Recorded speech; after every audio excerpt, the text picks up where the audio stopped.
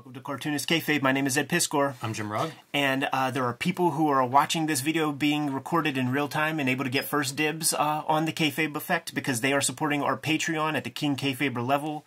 Uh, they get the videos before everybody else, and you can participate in that as well if you hit the link in the description below this video. But by and large, these uh, videos are brought to you by the comic books that we make, and in front of your face is our bibliography. Uh, right now, I have the Red Room comics out, X Men Grand Design, Hip Hop Family Tree, and Wizzywig.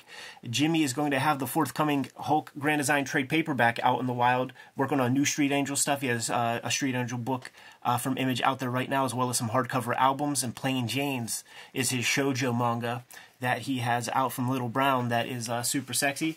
But we're sticking in that mid 90s tradition for a minute. Going to take a look at the uh, regular series version of uh, Gen 13 with issue number one.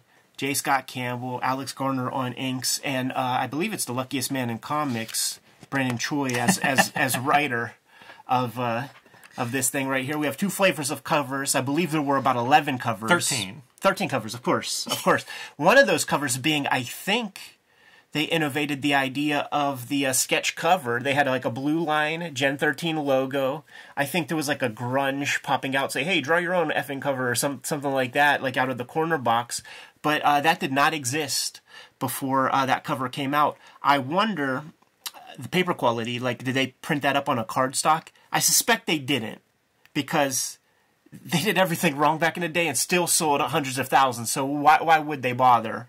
You know what's crazy is like for this was a time when comics were still selling well and this was a popular book. Yeah. I never see those other covers. That's true. This is the first I think this is maybe the first one I've seen in years and years and years and scooped it up. But like I literally even for marked up price I don't see them. That's true. Wonder how limited those things were. Like they might maybe they were in small quantities, but I never see them because a sketch cover from then would have been cool. Yeah. There was a Bisley cover. Yeah. There, there were a lot of uh, they, they were kind of neat. There was a photo cover that was like Pulp Fiction. I remember the uh, Brady Bunch like cover. It was another J. Scott Campbell, if I if I remember correctly. But this one is uh, clearly inspired by uh, the Sandman series. Yes.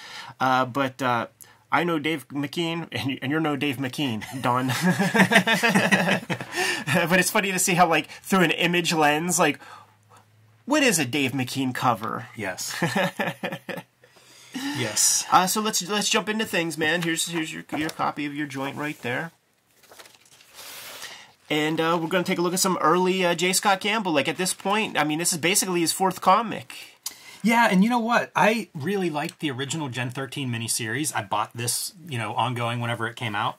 And uh, this issue, I don't know, he changes in some ways He does. or something. You know, like he's so interesting because I feel like all the guys who would work for Wildstorm and all Yeah. the guys who would work for Extreme, they would start out pretty close to life of with a couple of exceptions, like a Platt or somebody that showed up with their own style. Right. But a young artist like like uh, J. Scott Campbell, very much like you're channeling the Jim Lee, Scott Williams aesthetic of that studio, and he had some other influences. Absolutely. Which as they came out more and more, and they came out some in the miniseries, some of the cartoony stuff, the Art Adams, that stuff was what I really liked. Mm-hmm. And something about this one, I don't know, it has a rush quality or a flat quality, or maybe it's growing pains quality. Yeah, yeah. Making hay while the sun is shining. Get this out. Might have been time. a young guy celebrating a really successful miniseries too. Right. Uh, he, but he starts to gel. Like this is what his art sort of starts to become uh, in the future. And one of the th- interesting things is because he does build his his aesthetic for sure, but uh, there are downright ghastly uh, proportion things that that he'll do often. It happens with grunge a lot, and a lot of times it's like a big head. Like if we put the tracing paper down, that Fairchild head is gigantic compared to that little ass arm. She's got the Chris Benoit joint there, you know.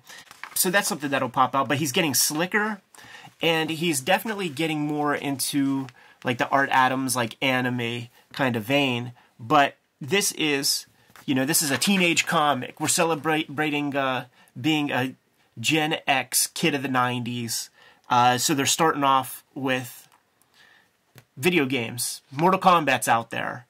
Dude, look at the amount of colors. Like if you scanned this and started sampling, there's greens and blues and oranges, purples. Yeah. Like every color is in that flesh tone. Page one and page twenty are Joe Chiodo colors, man. So so that's that's Joe. That's a staple of his thing, and he's he's like one of the few guys in that Wildstorm set that was not afraid to to um to draw uh to to to color with some pinks. I think he had a background as a painter. Yeah. And I can remember my first painting class where it was like, these are the colors in flesh. and it was all kinds of colors like that. That that really. Um, I was shocked. You know, like I can remember taking notes and trying to mix up flesh tone colors, and it'd be like, "There's green in skin. Like, what are you talking about?" And then you realize, yeah. And I think that's probably what you get from uh, Chiodo is a guy who comes with a background in painting knows color. but they're all. I mean, like, talk about the digital color tricks all over this. Oh, absolutely. They're going spending some time on that computer. Yeah, and uh, they're playing a Super Nintendo, and you you'd have no evidence of that by way of like the imagery here. Right. I I would always like bristle at that because I I was a kid of the time, you know, and I'm like, why don't they make it look like a video game? And we know uh, Campbell's background loves video games. Like you'd think he would have been on. Like I, I'm, sh- I feel like this is probably his idea. Totally. But then like pixelate that thing up or something. Yeah. Stylize it somehow. It's funny because like you know Brandon Choi is older than him, man. Is is is close to boomer age, right? And it still it it's it's a it's boomer comics. Like the the dialogue that they say, the way they talk, it's a caricature of how kids in the '90s talked. And uh, when he says, see, he's he's wearing it on his sleeve, like he turns off the game before registering the new high score. I was there. Ain't nobody give a fuck about high scores in video games since the Atari days, man. like, like nobody gives. So, like, he's his boomerness is, is has come out in this panel for sure. you know what though? This yanking out the video game maybe before the game's concluded. That was a staple in my college. Sure. And uh, the reset button, we removed the reset button from the Genesis so that my friend Chicken couldn't reset hockey games. The NHL '94, baby. Friendships were lost. Indeed. Also forged. A game called Forge. No, no, no. Friendships were forged. Oh, I see. there were some late night gaming sessions on those hockey games. Yeah. Well, I think one of the things that made Gen 13 a success was just being different than everything else compared to in, in the, the kind of Wildstorm Definitely in the wild tr- storm. tradition. And, and Brandon Choi is the writer of so much of that horse shit. That's why you call him the, the luckiest man in comics because, like, you know, he's making comics with with his like childhood friend Jim Lee, and uh, the comics they all ha- there's a there's tropes to to his comics, and it would be like organizations that have some uh, acronym that spells out core or arms or guns or you know some bullshit like that. Yeah. And uh, just all this butch pseudo canon film steve seagal horse shit so this is like the one different comic that's like hey let's have some like kids in like a domestic situation. And you need you need an artist that can handle that kind of thing. Like brett booth would fucking double double light denim pants. You know what i'm saying? But campbell is not without his flaws and stuff because like look at this fairchild she looks like a color form pasted up onto uh, a set of a background i defy you to sit on a chair that way You also mentioned her head size on the cover. yeah If she stood up right right there, she's about 14 heads tall. Well, that's That her deal. tall Yeah, character. she's all legs, man. She's a super tall one, all legs. Uh, Grunge is the little squat Wolverine type type character. I think this is kind of an interesting thing that I haven't seen before. Th- that that like three quarters aerial view of figures outside of a panel, an open panel, that was something I really liked, and I would try Yeah. to copy from like Whilce. I can remember like Whilce and Jim Lee both doing that on like X Men and X Factor. So they've been doing it for years. It became a staple. But throwing a couple of floorboards under them, kind of neat. Yeah, and and that's that is not easy to do. These characters are good in perspective. Like they they they are on that floor. I'm imagining that uh, Campbell got like did some gridding to uh to get those characters rooted in space. Like I could It was imagine. very hard to draw when I was trying to copy it. Uh, It's hard to do right now, man. it's hard to do right now. Uh, so funny, like just trying to. Nobody, you know, say any nice things you want to say about Campbell's work compared to the other uh, Wildstorm guys. He still ain't trying to draw backgrounds all that much, man. So they're just putting these like fucking nonsense Yeah. noodles. He is doing some stuff though that's like comic language. So Yeah. you've got a couple of these speed lines, which most that was an image staple. You'd have Sure. speed lines, but breaking up the floor whenever he hits the ground there. That's that's a comic that's comic language. That's the equivalent of uh, sweat sweat beats coming off. It is, it is, but still rooted. Like they, he's not going full. No, no, You no. know, like uh, Kurtzman would tilt it and, and break up the panel, and you see it in chunks. So he's he's getting little bits in there, but it's still, you know, pretty pretty pretty raw, pretty rough. Um, this is issue one, so you got to like sow the seeds for the future, right? So we got Fairchild. She's taking a look at this photo. You see a, a young uh, Mr. Lynch, and then you see his modern day version. He's he's a, a much more affable guy. He was a salty old cuss when you would see him in Deathblow comics, but uh, mysterious nonetheless. Because hey, how did his eye get that way? You know, that's something we got to establish in uh, future issues, perhaps. Notice the eyebrows on all the characters as we go through here because I think that's a big J. Scott Campbell original element, you know, compared to the Wildstorm house style. Yeah. And I always think of that Manben episode. I think the first one I saw in the drawing, they're like, I forget who the artist is, but he's drawing eyebrows before the eyes, and uh, Urasawa agrees. Yeah. you know, like that's a really expressive piece, and it's like I think I think J. Scott Campbell that was a piece of his stuff too, because his stuff is cartoony, expressive Yeah. in the face, and I think those eyebrows are a secret part of that. J. Scott Campbell influenced a generation with with this kind of art, but you still see his influences from like Art Adams, just even in these two faces right here. Um, but when he's building his figures and he's doing his thing, there will be still like stuff that's like feels super wrong. So like that arm going up, it's like if you quote unquote drew through it the way they would do in animation or something, there's something quite off about about that piece. It doesn't take me out of it though. No. But you know what's weird is like the full bleed art, except it, it's cut off, and Mm-hmm. then really cut off with that green is like putting in an artificial frame there. Yeah. And also wanted to point out the screen door texture in the background. That's something we used to see in like early Rob Liefeld. Kind of a weird texture, but here it is again. Yeah, that's a that's a that's a Art Adams innovation. He would he would bring that into his uh, 1990s comics. Uh, I like that their house is like the house from Boogie Nights, where there's like like the like the drug dude with the uh, yep. like what do you call those bricks, man? Yeah, I, I don't know what they're called, but they are. It's just the veneer, you know. It's just those fake fake bricks. Boogie Nights. That's funny. And you got your hedonistic, horny ass teenage boys. You got your minx like chick who's like you know free the nipple, man. Like these are just boobs. Everybody has them. Dude, this whole se- this whole spread could have been right out of the Boogie Nights comic. Yeah, it really could have, man. It could have been that Nina Hartley chick, man. All all she needs is a husband who's getting Mm-hmm. What, what we out. need to do is cut to under the water. Whenever she goes underwater, have the camera follow her under. All these crops, like right where the nipples go and stuff, and like, Ridiculous. like, look at this, like cheated arm to make sure that You know what's amazing? There's so much early digital coloring where people are like lens flare, you know, the shitty lens flare. The lens flare's drawn into the ink part there. If you look at the ink drawing, Right. Super cool. Yeah. And then, for no reason, we're just gonna go landscape. That's how you switch scenes. Yeah, we're going Spider Man, X Force. and uh, another cool thing about uh, J. Scott Campbell, young dude at the time, and actually kind of capturing the fashions of of the day. You would see chicks rocking this kind of shit, belly ring, all that stuff, them kind of Doc Marten boots and shit. And those other uh, image Wildstorm dudes, they're drawing fucking a white button down shirt, a, a t shirt, basic pants. Like they're not thinking about stuff on this level, man. They they ain't they ain't drawing no backwards Kangols. Right. Such a cliche scene too. How many times have you seen this scene in a, in a comic? Usually, in, or in a movie. Usually, it's a vampire sequence, right? Where like the chick is like at the club. There's the the the stoic guy at the bar staring her down, and and you know you, then you get those guys together about to interact. He draws a really good mouth for Roxy throughout. He does. And at different angles and different expressions. Yeah, not easy. tough. Not easy right here. This kind of stuff. And she's very animated. You know, that jacket is kind of like the tension of it is kind of off. It, it creates that motion that she's that she's moving, doing her thing. Good dancing poses throughout. Uh, and I always liked that uh, he would bring in like just other like this dude with Liberty Spikes. You know what? I think I know some of the stuff I was criticizing about his art.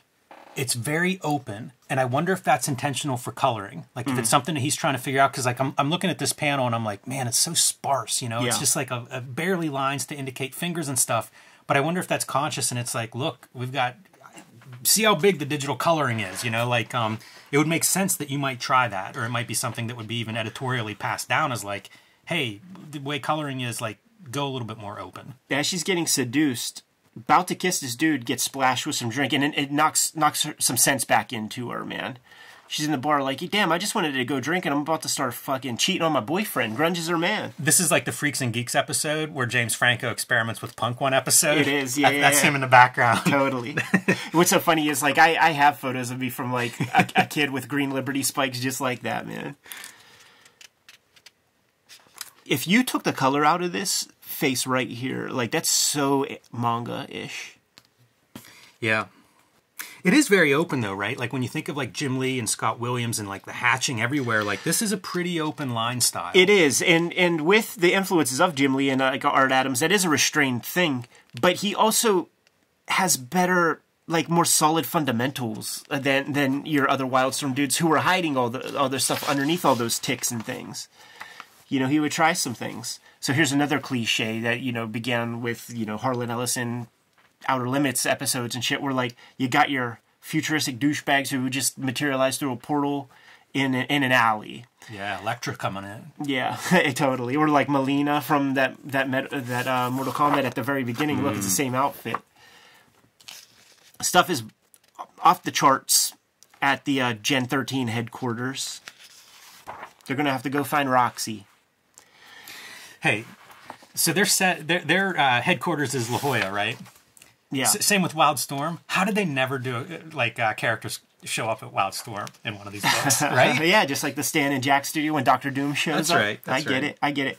Uh, so here are our bad guys showing up, uh, throwing some shade at Fraggle Boom. Show canceled due to uh, overwhelming lack of interest. And your main uh, guys who show up here, like here's your roster bad dudes. And I think this dude with this backwards Kangol and a scar on the eye and and dreadlocks. That's Gary Oldman from uh, True Romance, dude. Wow. Yeah, that's a lot of gimmicks to pile on. I always think of Hacksaw Jim Duggan talking about when he was King Hacksaw and had the crown Yeah. and, and the cape and the two by four, and the hoe and the thumbs up and the crossed eye. This is, but this is total. Like, I would be shocked if they said that that was not inspired by Gary Oldman in uh, True Romance. It makes total sense. it's the era. Yes. Yeah, that that gang of like the character design for that group is so wild. I really like that drawing. Totally, he's fun with the mouths, and, and like he and Joe Madureira, like, like they would fuck with that shit.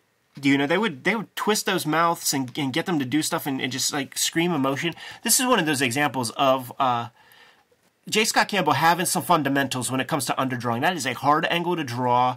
Everything is anchored really well. The eyes are inside the, the sockets of that skull really good. There's good perspective on that nose. The jowl is good. And and the colorist is abiding by the things that uh, They are, but also like this is the future of coloring right here. Like there's all kinds of modeling being done there by the colorist. I keep looking at this and thinking like is this book much later than I thought? Because everything's here, right? We've got Yeah. Richard Starkings doing digital lettering. We have coloring that is not that far from what we've got in today's world, and yet it's 1995. Sure. Like this is a cutting edge comic in 1995. yeah. And, and imagine what a Marvel comic from 95 looks like if you really want to have some fun at home. Yeah. Pull out a 95 comic and compare them because this stuff was like years ahead. It really was, man. It was still on that newsprint, and but they were like bringing some computer color at that point, but it was very ugly. The best computer color, and by best in 1990s standards, was lots of bells and whistles, and you know this this aesthetic. The Marvel colorist and, and, and the uh, the the DC stuff, they could not accomplish this. This is this is manga reading it is because it reads from right to left a lot better than it does. It's, that's it's, it's a weird backwards move if you read it Western style. Sure, sure, but he's twisting up that the figures in more adventurous ways once again than any of the Wildstorm guys would do. Like their shit would look so disjointed and, and just off. They would Yeah. never be this courageous. That is not a uh, photo referenced figure, no, and I like that. yeah. Our guy standing on the perspective uh, on the horizon line, the eye line. That's something that I always like to make note of. Yeah, that could be a zine. And uh, listen, play the hits, right? Kitty Pryde had Lockheed. Let's introduce a little cartoon uh, Muppet that uh, the Gen 13 crew can have. She's got the choker chain, by the way. That's a, some real, the real '90s staple. Uh, this is a very heroic shot of uh, of our guys right here, man. I, I always love this image. And in issue one, you you only get like one of these. You know, like they they they spend a lot of time in domesticity to, to get us to this part. But there's good movement. There's a lot of curves in the back background perspective to kind of create that movement. It really does feel like they're barging in. Good pose on Fairchild there. doing a team shot like that, and all these team books needed it, from X Men to whatever, you know, name your book. They're a lot harder than they look. For sure. And, and when they fail, they fail hard. But you're expected to do that. If you're drawing one of these team books, we want a money shot of the team, and it's not that easy to do. That one's pretty good. Yeah, this is one of those fun pieces right here with grunge, where you see how those shoulders are coming down. Uh, so many of us would use action figures as kind of our uh, sort of reference to show that chest twisted around and things. But you know how action figures work. Certainly of that time, the there's a trunk, torso section, and the arms just kind of fit in. Look at there's no give to the, to the collarbone at all, and those arms just kind of straight down. It just looks like a toy. Yeah, there's some real kayfabe muscle going on with him. Like especially as we see like some of the back muscles. Yeah, that piece right there. Yeah, you do. You learn that French braid technique, and then you just braid it. You braid the muscles, and then and then you're you're kind of you're close. Because I defy you. Take a look at uh, you know, uh, who's who's the the big bodybuilder guy that Chris Byrne or Brum or something like that. Like uh, you look at the that bag, it looks like mashed potatoes like underneath skin. It's symmetrical on both sides. I think that's something you got to keep uh, accurate. This is a pretty nice use of the DeLuca effect, having that figure dancing around his head, and, and pretty advanced because I mean you could just have some stars there and call it a day. That's the other thing too. Like, uh, this is a more playful book. There's a little bit room to move. You don't got to take it seriously. And the fun thing is, you could do a lot of things if you don't take it seriously. Plus, the other Wild, Wildstorm books, they were impossible to take serious for all the pretense and effort they were trying to make those things be serious and, and hardcore. It was a fucking joke. So, like, lean into the joke. But it almost doesn't get more 90s than this, Jimmy. Yeah, for sure. Not a bad thing. I have a lot of fond memories of the 90s comics, so lean into them now and then. you know, good kind of 10 page fight sequence. Uh, this, the computer coloring on this panel here, where our guy gets zapped out, is something that I always like. Like, like I, uh, I responded to the computer coloring on the Gen 13 series. I, I thought that, that it was a good matchup uh, with um, the Campbell art and the, the Garner inks. It was also pretty new. Like Yeah. every book didn't look like this or derivative of this. Yeah, And I like I said a minute ago, this to me is the highest level of it at the time. absolutely. And and I mean, he will. Th- this this pushes the art of comics forward, and people start to Or backwards. Yeah, yeah. People they're at least doing something different from Jim Lee. Put it in in Rob Liefeld's words on the kayfabe channel. Jim Lee started to draw like J. Scott Campbell Yeah. and bring those elements in. But I mean, go down the list of Gen 13 comics after this. Everybody's trying to do J. Scott Campbell. this line on her face and neck for like a lighting or something, a double lighting, the colorist more or less ignores it. It does, yeah. But it's a really bold drawn line. Yeah. Don't see a lot of shading like that. As you could have expected, uh, the bad guys have to retreat like a bunch of cowards, and Gen 13 is left standing there, being the heroes that they are. Cut back to La Jolla, to the Boogie Nights house, and uh, they got a new pet. His name's Queef, or something like that. And uh, Lynch is just telling him, guys, the uh, those all those monsters that just came through that portal, they came because they wanted some queef. and if he stays with us, you you best imagine that uh, we're we're that's not the last we're going to see those guys. Very by the numbers. It's a really uninspired first issue. It is. It, it, it feels like um, uh, like an amateur's first issue where like you don't really have big storylines or, or supporting characters or anything or even a mission. And so, you know, it's kind of this throwaway story, except it's an issue one. Yeah. You know, like like bizarre to me because you had time to plan it. Like always with an issue one, like if things don't land to me, something went wrong because you had time. This Yeah. wasn't like issue seven and you're trying to stay on a monthly schedule. It's like Yeah. it's issue one. What's the best way to set up this series? And I don't know if Queef was it. you got to check out the old Kirby comics that he wrote himself, or even the Silver Age Marvel stuff. But very often, you read the uh, the Kirby Fourth World books, or Devil Dinosaur, or Eternals, or something. You're getting the series MacGuffin Yes. in that issue, like the thing that's going to kind of propel the story engine, the thing that like you're going to be able to hang every issue on is introduced so clearly in those comics that you know the score. You know exactly what you're in store for, and uh, it gives you something, like I said, to, to sort of hang your hat on when you're creating the next round of stuff. Yeah, because I read this issue, and I don't know like what are what's their team story even? Are they on the run? Are they underground? Is somebody after them? I have no idea. Right. You know, like why does this series exist? Would be my question after reading this issue. And you use the word amateur, but like they're they're only professionals by virtue of Jim Lee paying some money to some dudes. He is giving money to his childhood best friend who has no stripes. You know, like is probably, you know, maybe the best person that could write a comic that Jim Lee knew or something. You know what I mean? Like I have no idea what gives uh, that dude qualifications for anything other than being Jim Lee's homie. I think it's a good comparison that you make with Jack Kirby and an issue one. Yeah. Because it, it, it does feel night and day difference in terms of like it's an issue one, it's a launch. Right. There's the the artists of your 13 covers. You get Art Adams in there. John Cleary, I'd be curious to see that one. Friendly Neighborhood Grunge. Oh, I know that one. That's like the Spider-Man one cover with grunge as in the in the Spider-Man uh, rule. Michael Golden, Gen 13 goes Madison Avenue. Yeah, I don't know. Why aren't these all pictured in here? Like, give us the, at least a page with like little little uh, stamp-sized versions of them. That would have taken uh, some thought, Jimmy.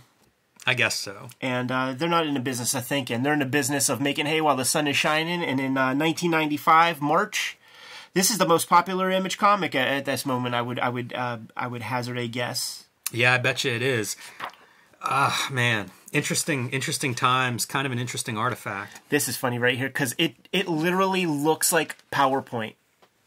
you know, like like they they put it into a computer program. They vectorized it, and you can imagine this bouncing around on your Windows 95 screen when you leave the mouse still for too long. Makes me really curious, like, what's the software? Right. What are they making that, I guess, early 3D out of? Yeah. Fun stuff. It is fun. And, and, you know what? As much as we make fun of that logo in early 3D, like, it's another point of, I don't know that Marvel's doing anything like that. You know, I feel True. like Wildstorm and Jim Lee and, and everybody, they're investing in this department. And when they sell to DC, I think that was a part of what they were selling. Sure. Yeah, yeah, some some some updated stuff. And uh, Grifter, I, I agree. You see Grifter in comics, man. You don't see much other uh, other characters, but I see Grifter every now and then, man. Jimmy, you good to go? Yes. Kayfabers and uh, the uh, King Kayfabe patrons were the first people to uh, to to see this comic uh, while we were even recording it, and they get the videos ahead of time. If you want to experience that and mitigate the kayfabe effect completely, hit up the description in our uh, video below. You're going to be able to jump on board on that Patreon and, and get videos ahead of anybody else. Also, we're makers uh, in the game, and these are the books that we need you to support so that we can continue uh, bringing these videos to you on the regular. Jimmy, tell the people what's out there. Hulk Grand Design coming to stores in February. You can still pre-order that one big oversized fluorescent green cover, you want it on your shelf. But pre-order it because they're printed now and it's a limited number. Mm-hmm. Street Angel, Deadly Squirrel Live, and The Plain Janes are already in print and available wherever you buy books. And you can join me on patreon.com slash jimrugg to see more of my comics, my upcoming comics, as well as download some of my out-of-print zines and mini comics. You see the bibliography in front of you, man. Red Room uh, is the comic I'm working on these days. Red Room Antisocial Network and Trigger Warnings. Uh, trade paperbacks are out there as we speak. All stories self-contained. I'm serializing the next round of Red Room comics on my Patreon before anybody else gets to see that stuff. Hit up uh, the link tree in the description below. You can get to those destinations. But I have Hip Hop Family Tree, X Men Grand Design, and Wizzywig uh, out on stands uh, as as we speak. Go to your local comic shop, scoop up the comics. Jimmy, what else do we have out there? Subscribe to the Cartoonist Kayfabe newsletter at the links below this video. You can also find Cartoonist Kayfabe t-shirts, merchandise, mugs, hats, all kinds of good stuff at our spread shop. That link is also under this video. Another great way to support the Cartoonist Kayfabe channel. Given those marching orders, Jimmy We'll be on our way. Read more comics.